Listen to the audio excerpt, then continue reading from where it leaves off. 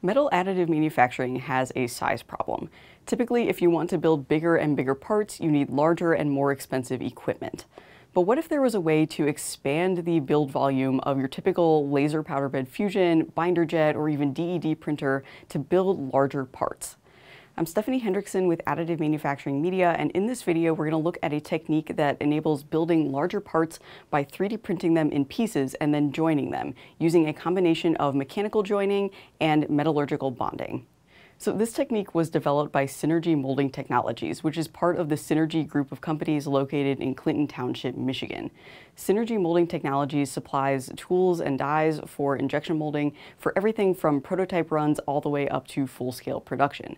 And they use a number of different manufacturing processes to do it, including additive manufacturing. Something interesting about Synergy Molding Technologies is that they don't actually own any metal 3D printing capacity themselves. They work with a number of different OEMs and suppliers to have things 3D printed as they need them. And so if it's possible to 3D print molds in smaller segments and then join them together later, that opens up a wider envelope of different machines, different platforms, different suppliers that Synergy can work with. Here's Clay Stevens, the CEO and co-founder of Synergy Molding Technologies. Today in the world of 3D printing, for companies that are 3D printing uh, inserts or trying to 3D print tools, um, the printing limitation is, is, quite small for economically viable machines at an achievable, uh, affordable price point. Anyone looking to print today without this technology, looking to print a solid, complete tool greater than, let's say, 16 by 16 square build plate size, um, would need to move into a larger machine that can achieve the desired results, uh, but at a significantly higher cost. The idea here is to utilize the many different powder bed machines or uh, wire FDM or binder jet machines or mantle equipment that might be out there in the market, uh, underutilized, but still printing the materials that we've standardized, the tool steels that we've standardized. So there are more opportunities for these more affordable, smaller metal 3D printers when you can join those pieces together. Synergy Molding Technologies has developed this idea specifically thinking about injection mold tooling, but there are many other potential applications for this technique that they've developed. Here's how it works. First, the parts are 3D printed using a dovetail geometry featuring these 45 degree bevels. This is the mechanical joining mechanism that will hold these parts together later. The bevels are there to improve the mechanical engagement and also provide good surface area for the metallurgical bonding, which will come later. The parts that you're seeing, these samples in this video, were 3D printed using laser powder bed fusion out of 316 stainless steel.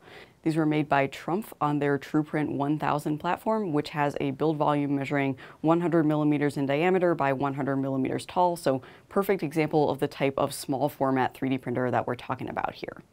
After printing, the dovetails are a little bit oversized, and so they need to be cut down using wire EDM.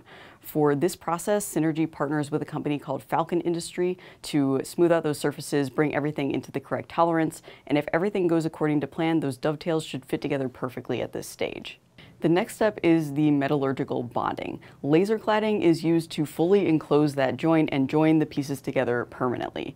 This step is performed by Synergy Additive Manufacturing, which is a sister company that specializes in laser directed energy deposition or DED. Synergy Additive has developed its own DED platform that uses Laserline lasers, robots from KUKA and Fanuc, and a Fraunhofer material deposition nozzle.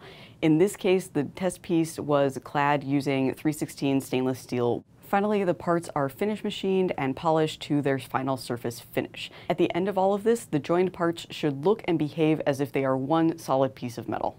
With the mechanical joining supported by the laser cladding, we're able to transfer any of the thermal stresses, expansion and contraction that might happen during the molding process and any other physical forces that the tool could encounter.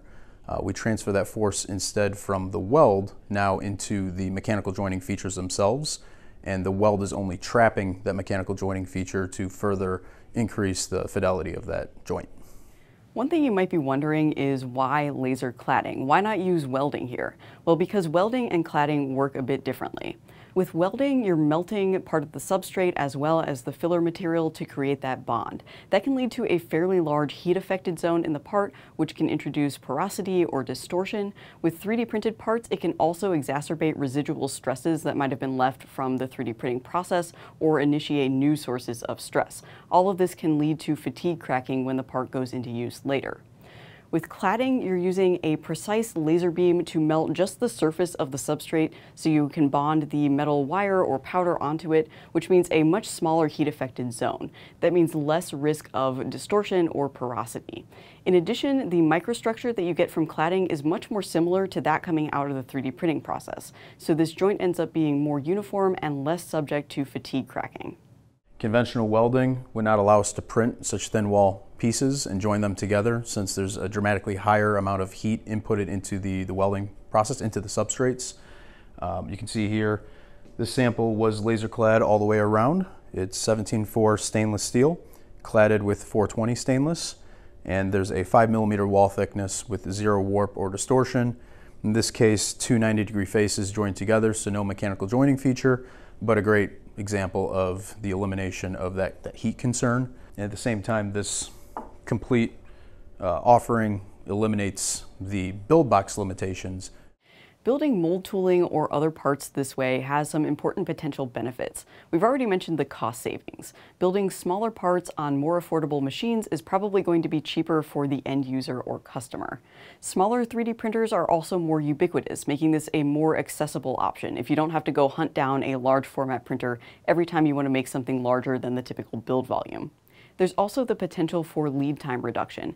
3D printing can be a time savings over machining or tooling-based processes like casting, and that increases if you don't have to be particularly choosy about the build volume you need for your metal part.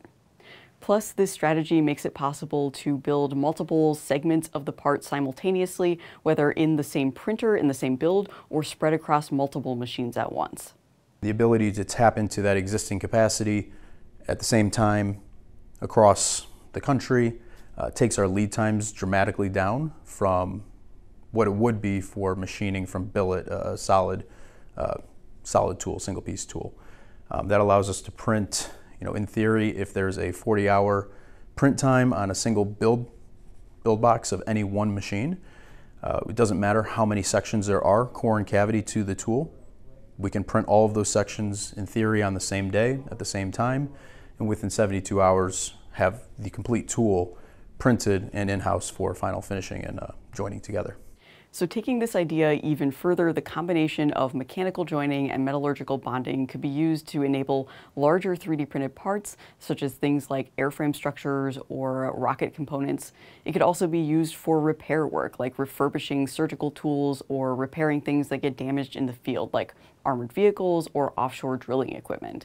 Clay and Synergy Molding Technologies see this as a way to expand the footprint, expand the effectiveness of metal 3D printing, and also to encourage manufacturers to think about the things they're producing in a more modular way.